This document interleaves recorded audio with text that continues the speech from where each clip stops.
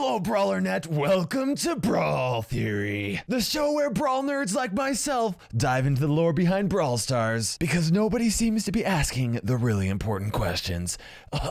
This voice kind of hurts. Okay, seriously though, what is up with this sock? It's now on top of the Brawl Ball Stadium and in the Brawl Pass? Okay, well maybe I shouldn't say that nobody is asking the important questions because today's video is actually heavily inspired by Gamba, who made a post about this on Reddit. But we're gonna take it to a whole other level, which is gonna change the way you view Brawl Stars forever. We're talking about the truth behind Brawl Stars, what this sock actually is, who are all the brawlers and what is their purpose? Why does does Spike not have a voice? What can we expect in future Brawl Stars updates? And what is Brawl Stars' actual theme and how would an updated map fit with that theme. We're gonna start right there, but then we're gonna come back to answer all of those questions later on in this video. Many of you know that in the beginning, Brawl Stars originally had a space theme to it, and that was later replaced with an old Western theme back when the game was in beta. As time went on, Brawl Stars expanded to include much more than just one theme. We now have a giant Brawl Ball Stadium, a pirate ship, a haunted town, a mystic bazaar, an arcade, and a whole lot more. In fact, as more time goes on, it seems like Brawl Stars' theme becomes more more convoluted and confusing than it used to be. Well, maybe to most people, but I'm just not anyone. I'm the Brawl guy. And I've had a hunch for a long time regarding what Brawl Stars' actual theme is. You see, over a year ago when Brawl Stars received the Retropolis update, Apple did an interview with Frank surrounding the update. In this interview, Frank said, When you launch the game and wonder where each character hails from, you might have missed a clue. The silhouette of a big Ferris wheel is visible at the bottom right of the game launch sequence, a hint that the game's environment is arranged much like a theme park with different sections. Now, when I first read that, I assumed that that meant that there were various lands with all their own different types of environments that brawlers came from, and that led to my brawl theory of the Brawl Stars map. But as more time has progressed, Brawl Stars has put more and more hints into the game that suggest that Brawl Stars isn't just different environments arranged like a theme park, but that Brawl Stars is a theme park. And I'm not only going to prove it to you, I'm also going to tell you what this tells us about the brawlers and what we can expect from future Brawl Stars updates. And of course, I'm going to show you an updated version of the map of Brawl Stars land. Let's start off with the number one reason people come to theme parks, rides and attractions. Do you like bumper cars? Well, why don't you head over to Retropolis and get in line for the bump box? Yes, those are actual bumper cars with bumpers to protect the bumper cars from bumping into each other. It is a bumper car ride. Oh, but what's that you say? You say that you prefer roller coasters? Well, why don't you head over to the gem mine and ride the Dynacoaster? Here's an example of Dynamike riding it himself. More of a water ride kind of person? Then head down to Brawloween Town and get in line for the boat ride. You'll see this loading dock where up to four boats can be loaded at the same time. And if you're a big spender, you can even rent one of Mortis's jet skis. I know it doesn't look like much when it's not moving, but here's a clip of Mortis riding one. But if you prefer, you can actually head over to Daryl's ship because the entire thing is a boat ride.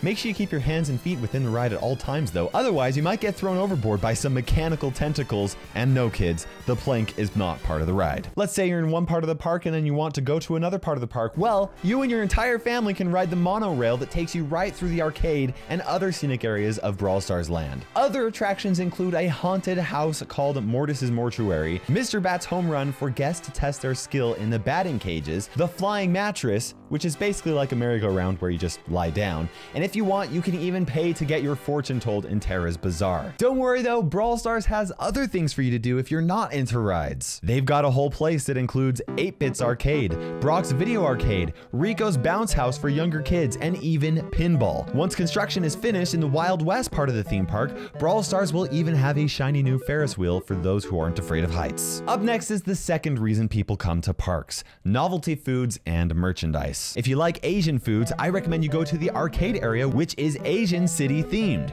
You can get Japanese sushi here, Korean bibimbap here, and Chinese xiaolongbao here. Older park guests might even make their way to Brawl Street where they'll find Barley's Bar for novelty drinks. But for most park goers, I would recommend heading to Retropolis where they've got burgers at Burger Brawl, all sorts of crazy soft drinks at Gulp, and anything else you could possibly want at Bull's Diner. They're even open for private birthday parties. And of course, while you're waiting to digest your food a bit before hitting more rides, you're definitely going to want to stop by some of the shops to get some of that novelty merchandise. I highly recommend starting out at the gift shop by Barley's Bar, but you can also go to Gene's Lamporium for some of their latest merch. And what kind of merchandise do they sell? Spike socks. Finally, we have an answer, and I'm going to even talk more about why Spike is such an important character in Brawl Stars land later in this video. You can also buy eagle hats. As you can see, this is not a headdress, it's actually a cap, and you can adjust the size to fit either kids or adults. They also offer chameleon hoodies that include a curled up tail. Wait, what's that? You like bears? Well, that's perfect because they also have stuffed teddy bears. This one's name is Bruce. They also have these super cool bear hats. I mean, bear hats are way cooler than a mouse hat. Am I right? Goodbye, Mickey. Hello, Bruce. Believe me, guys, all the other park guests are going to be super jealous when they see you walking around the park with one of these bad boys on your head. Speaking of mouse ears, I mean Mickey ears, I mean Brawl Stars merchandise. Brawl Stars Land recently got a stock of new Star Crown hats with the addition of Tara's Bazaar. You might have seen them lying around in the park in various locations. In fact, there's at least one in every different area of the park. Arcade Mania, the Brawl Ball Stadium, Brawl Beach, Brawl Island, Brawl Street, Brawloween Town, Daryl's Ship, Gem Mountain, Retropolis, Tara's Bazaar, and even the Wild West. Wait a second, you telling me you saw a whole box of them while you were playing Siege? That can't be right. That's the park's storage facility and guests are not allowed in there. Didn't you see the giant gate and security cameras everywhere? That's a private spot in the park where Jesse, Pam, and Nani do maintenance on and create new animatronics to entertain the guests. Why else would there be giant warehouses for storage, guys? Now, if you don't believe me that Brawl Stars is a theme park, we're about to go over a whole lot more evidence. You'll see various themed trash cans throughout Brawl Stars, much like Disney has themed trash cans throughout their theme parks. You'll also notice there are parts on the maps that are roped off, signifying that guests are not allowed to go to certain places or touch certain props. There are exit signs in Brawloween Town and the Gem Mine to show guests how to get out of certain attractions. This water ride and Dynamike's roller coaster have protective restraints to keep guests from getting out of the ride until it's over, just like you would normally see on a ride in any type of theme park. In the Brawl Street area, there's actually a place for you to mail postcards to show that your friends and family that you're thinking of them while you're having a good time. And there's even a place to get your hair cut, which isn't too far-fetched for a theme park to do. In fact, Disney World has a place called Harmony's Barbershop in the entrance to their theme park as well. Here's a vending machine for guests to get drinks without having to wait in line. Mortis's Mortuary clearly has ropes that are used to form a queue for guests, and it is clear that the ride costs three tickets to enter. By the way, it costs tickets to ride the rides. How do you buy tickets? With gold coins, of course. What do you earn if you do well at the arcade? Tokens. What can you do with tokens? Buy brawl boxes. What are inside brawl boxes? Food and drinks. That's why the developers changed them to look less like safes in the beta to looking like lunch boxes in the global release. Brawl Stars is a theme park. But hey, that's just a theory. That really hurts, by the way. also, I think it's more than just a theory. I think that when Frank said that Brawl Stars was organized like a theme park, that was the biggest hint that Brawl Stars is a theme park. And that leaves us with a lot of big hints when it comes to the kinds of things that we'll be getting in the future for Brawl Stars updates. But before we cover that, we still need to talk about what this reveals about who the brawlers are and what their purpose is. I think that most all of the brawlers in Brawl Stars have some sort of job to do in the park. I already mentioned that Jesse, Nani, and Pam are in charge of building animatronic robots to entertain and take care of the guests. Barley serves drinks, Daryl and Tick ride the giant ship ride, Sprout, along with Rosa and Bea, are in charge of growing and taking care of all the plant life in the park. Rico and 8-Bit help out at the arcade, and Carl is likely there to help out with Dynamike's roller coaster. I think that Poco is in charge of live music, and he actually hired DJ Frank to put on a show every now and then, and the Mystic Trio obviously runs things at Tara's Bazaar. Bull is secretly a really good chef at his diner, Jacky is one of the construction workers in charge of building new attractions, but one brawler that I've thought a lot about is Spike. Where does he come from? Why are his socks so important? And why does he not have a voice? I actually got my biggest hint regarding who Spike is from Mr. P. You see, Mr. P has a zipper on the back of his head along with some stitching, which would actually suggest that he's just wearing a costume, a nice penguin costume, right? You'll also notice similar stitching on the back of El Primo's mask. This is actually pretty similar to what you might see at Disneyland. I'm talking about the guy in the big mouse costume. That's right, guys. El Primo and Mr. P might be a little bit more like Mickey Mouse than you might have thought. But while Mr. P is wearing a costume and sounds a lot like Gene, who actually might just be Gene underneath the costume, Spike has no voice. Why not? For the very same reason that Mickey Mouse, who walks around the park to greet guests, does not have a voice at Disneyland. It's so that anybody that's the right height can put on the cactus suit and be Spike without Spike's voice ever changing. That's right, guys. Spike is essentially the Mickey Mouse of Brawl Stars land. And that is why his socks are so important. They are merchandise that people buy because they just love Brawl Stars land so much. As a side note, I actually think that Crow might also be a good fit for this same role, but his zipper is probably hidden in the neck of his jacket. But Crow does still need a remodel, so we have to wait and see how Brawl Stars actually ties Crow into the whole theme. Now, I don't think that all of the brawlers are park workers. I think that there's a family that just goes to the park and is just there to enjoy it. Namely, Bo is the father, Nita and Leon Leon as brother and sister. I mentioned their headgear earlier, and it's my theory that they are at Brawl Stars Land to ride the rides and play at the arcade. They're just so excited about it that they're out there wearing their favorite merchandise. Bo with his dad cap, Nita with her bear hat, and Leon with his chameleon hoodie. Now, why are the brawlers all out there fighting each other? I'm not entirely certain, but it might be some sort of way to keep them entertained while the park is closed, or they might just be out there trying to entertain the guests. After all, that might be why there's a giant Brawl Ball stadium in the middle of the park. Maybe the rides and the food are only side attractions and people come to the park primarily to watch some of their favorite characters play various games each other. But of course, we're gonna have to say that for another time. Because now it is time for us to talk about what this means for the future of Brawl Stars. What kind of updates will we see in the future? First of all, there's one thing that is missing from Brawl Stars Land, and that is a place for guests to sleep. If you go to any Disney park, there will be several Disney themed hotels surrounding the park. There's one in particular that gets me thinking about Brawl Stars, and that is the Mickey Mouse Penthouse. This hotel hotel is themed after Mickey Mouse, and it's only a matter of time before I think we're going to get a Brawl Stars version. But rather than the Mickey Mouse Hotel, it's going to be Mr. P's Hotel.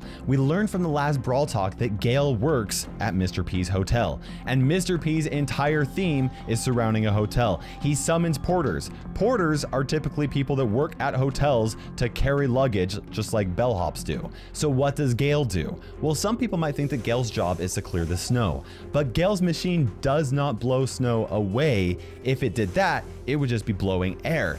Gale's machine creates snow. Gale is using a snow machine. You take a snow machine and a penguin suit for Mr. P, and that tells me that we are going to be getting some type of a winter themed environment in a future update. And there will likely be Mr. P's hotel off to the side, probably actually at the top of the arena. The hotel is run by Mr. P, and Gale's whole job is to create snow to keep the environment winter themed. As a side note, I think it's very likely that we'll be getting a third brawler that's going to fit their snowy trio as well. He's likely either going to be a worker at the hotel or he might actually actually be some type of an ice themed brawler, maybe like a snowman. But that's not the only prediction I'm going to make. I think that it is very likely that the Wild West theme that we currently have is probably going to get remodeled into something that fits a theme park a little bit more. I think it's going to have a sheriff's office for Colt and and I think there's a good chance that this Ferris wheel on the original Brawl Stars loading screen will actually be put into the game somewhere in the Wild West theme. I think that we'll get more brawlers like Bo, Leon, and Nita who will wear more themed merchandise, but actually won't be workers of the park. And I think that there's a good chance that we'll get some type of of a superhero theme or a space theme to fit Max along with a couple other superhero brawlers.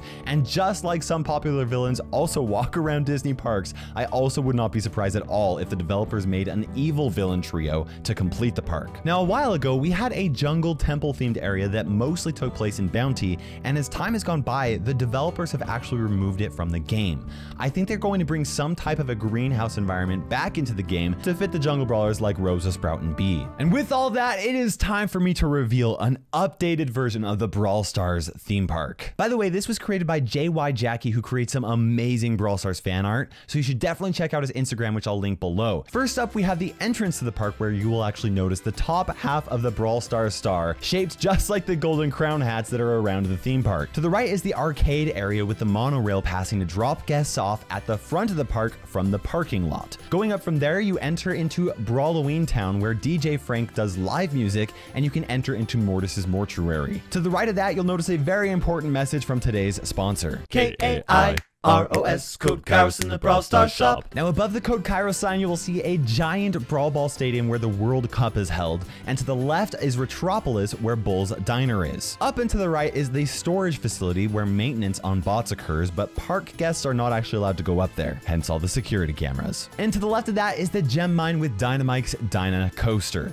Down to the left is the Wild West area, which I think will be remodeled to have a sheriff's office, as well as the Ferris wheel on the original loading screen. And below that is Rosa's and Bea's greenhouse, where they'll take care of all the park's greenery. To the right of that is the center of the park, which is what I like to call Brawl Street, and that's where Barley's Bar is. And down to the left is an area that I think will eventually be a winter themed environment added into Brawl Stars, including Mr. P's Hotel and a snowy ice igloo. If you head to the left, you'll find Daryl's boat ride, which will take you down to an exclusive Brawl Ball Island. And last but not least, you can follow the beach up to the upper left where you will find a giant Robo Spike coming out of the sand, just like the real one that was put in Busan, South Korea for the 2019 Brawl Stars World Championship. And that is an updated version of the Brawl Stars map as a theme park built to entertain guests and bring smiles to park goers. Some even call it the happiest place on earth. But hey, that's just a theory, a brawl theory. Thanks for watching.